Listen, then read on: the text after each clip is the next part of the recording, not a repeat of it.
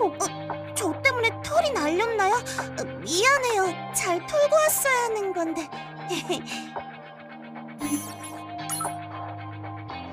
성능은 몰라도 튼튼한 건 확실해요. 안심하고 구입하세요.